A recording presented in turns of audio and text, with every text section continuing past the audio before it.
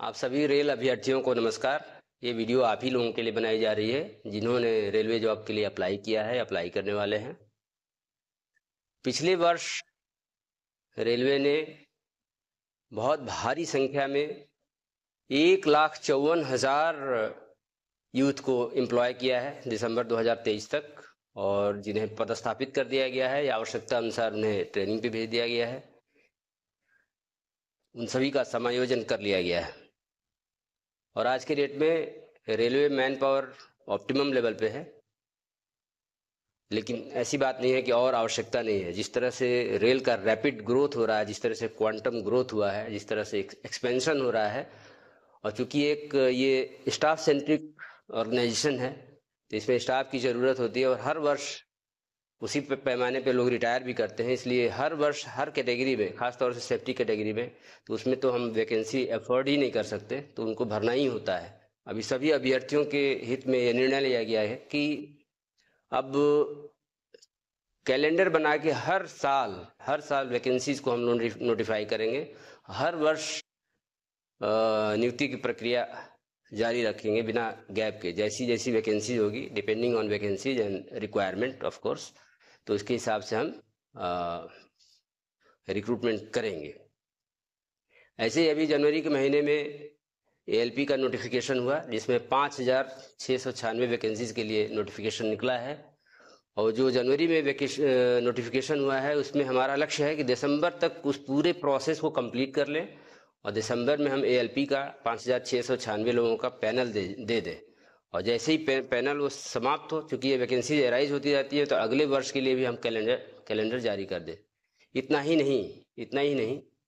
जैसा कि स्टूडेंट्स का भी जो हमारे यूथ है, उनका डिमांड था कि और भी वैकेंसीज कब आ रही हैं, कब आएँगी तो उसको भी ध्यान में रखते हुए रेल मंत्रालय ने अभी हम लोगों ने इसको नोटिस में भी दे दिया है कि टेक्नीशियन कैटेगरीज में कैटेगरीज में, जिसमें नाइन थाउज़ेंड वैकेंसीज हैं ऑलमोस्ट अनुमानित वैकेंसीज हैं उसके लिए भी हम लोगों ने एक टेंटेटिव कैलेंडर दे दिया है कि इन 9000 वैकेंसीज को फेबररी के महीने में 2024 में नोटिफाई करेंगे और एक साल में, यानी कि अगले साल फेबररी तक फेबररी तक इसको कंप्लीट कर लेंगे। कंप्लीट करने के बाद एक नेक्स्ट साइकिल में हम नोटिफाई करेंगे ताकि पूरे रिक्रूटमेंट प्रोसेस को टाइम बाउंड मैनर में हम इसको कंप्लीट कर पाएँ, संपन्न कर पाएँ।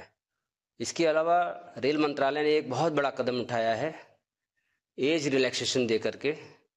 कोविड के टाइम में जैसा कि आप जानते हैं दो तीन साल तक परीक्षाएँ करना संभव नहीं था, नहीं हो सकी थी। बहुत सारे कैंडिडेट्स ओवर एज हो गए थे तो उनको सम्मिलित करने के लिए, उनको भी अवसर प्रदान करने के लिए रेल मंत्रालय ने तीन साल का, एक साल नहीं, दो साल नहीं, तीन साल का एज रिलैक्सेशन दिया है, जो कि जिससे हमारे कैंडिडेट्स जो वंचित रह गए थे, जो चूक गए थे एग्ज़ाम देने से, हो पाएँगे अपियर हो पाएँगे।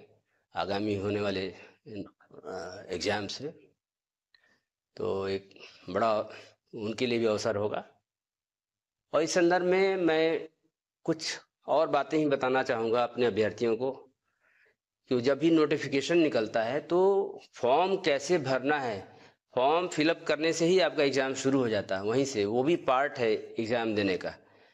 तो बहुत से अभ्यर्थी बाद में बड़े हताश हो जाते हैं कि उनका फॉर्म रिजेक्ट हो गया। है तो हम लोगों ने देखा, हम लोगों का अनुभव ये है विगत रिक्रूटमेंट्स में कि बहुत से पाँच परसेंट के करीब ऐसे एप्लीकेशंस रिजेक्ट हो जाते हैं, जिनमें प्रॉपर ढंग से सिग्नेचर नहीं किया गया है या प्रॉपर ढंग से फ़ोटो नहीं लगाया गया है। बहुत से कैंडिडेट्स होते हैं जिनका और जो भी क्राइटेरिया है उसको फुलफिल करते हैं। उसमें उनका सर्टिफिकेट भी ठीक है, जो भी एज के लिए जो भी सर्टिफिकेट चाहिए, वो सब ठीक है। लेकिन उन्होंने प्रॉपर ढंग से सिग्नेचर नहीं किया है। या प्रॉपर फ़ोटो नहीं लगाया है, उसकी वजह से ये कंप्यूटराइज्ड वे में वेरिफिकेशन होता है स्क्रूटनी होती है तो रिजेक्ट हो जाता है। इसमें कोई ह्यूमन इंटरवेंशन नहीं होता है। लेकिन बहुत से कैंडिडेट्स हैं जो कैपिटल लेटर में अपना नाम लिख देते हैं। सिग्नेचर के नाम पे, या बहुत से कैंडिडेट्स ऐसे होते हैं जो स्मॉल लेटर में ही लिखते हैं, लेकिन डिसज्वाइंटेड लेटर्स होते हैं। तो ऐसे सिग्नेचर एक्सेप्टेबल नहीं है। क्योंकि सिग्नेचर करना है, जो इंस्ट्रक्शन है, उसके हिसाब से रनिंग राइटिंग में करना है। ऐसे फोटोग्राफ्स बहुत सारे बहुत सारे फोटोग्राफ्स होते हैं जो, जिनका रिजोल्यूशन सही नहीं होता। रिजोल्यूशन सही होना चाहिए, खराब रिजोल्यूशन होने पे स्पष्ट नहीं होने पे वो रिजेक्ट हो जाएँगे। ऐसे बहुत से कैंडिडेट्स होते हैं जो फुल बॉडी का अपना फोटोग्राफ दे देते हैं। या बहुत से ऐसे कैंडिडेट होते हैं, अभ्यर्थी होते हैं जो सेल्फी दे देते हैं। और ऐसे भी कैंडिडेट्स होते हैं जो ग्रुप में फोटोग्राफ्स दे देते हैं। वेरीफाई करना बड़ा मुश्किल होता है। और जैसा कि आप जानते हैं आइडेंटिटी और जेन्यूनिटी सबसे इम्पोर्टेंट पार्ट है किसी भी रिक्रूटमेंट प्रोसेस का।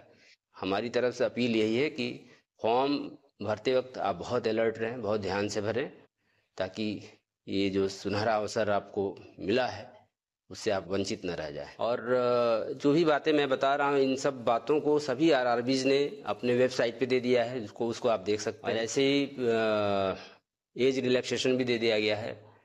तो हम सभी प्रतिबद्ध हैं। जो भी हम लोगों ने कैलेंडर दिया है, जो भी शेड्यूल दिया है, उसको हम लोग उस लक्ष्य को उसी शेड्यूल के हिसाब से जितना रिक्रूटमेंट है, उसको हम कंप्लीट करें। और अब आपकी बारी है कि आप जो शेड्यूल दिया गया है, उसके हिसाब से तैयारी करें। अब आप जी जान से लग जाएँ एग्ज़ाम देने के लिए। तो मेरी तरफ़ से, हमारी तरफ़ से, रेलवे की तरफ़ से आरआरबी की तरफ़ से आप सभी को ऑल द बेस्ट। आप सभी को ढेर सारी शुभकामनाएँ, धन्यवाद। मेरा ये चैनल सब्सक्राइब करें और मेरे हर अपडेट आपको मिले, इसके लिए बेल आइकन ज़रूर दबाइएगा। आप सभी को मेरी ढेर सारी शुभकामनाएँ।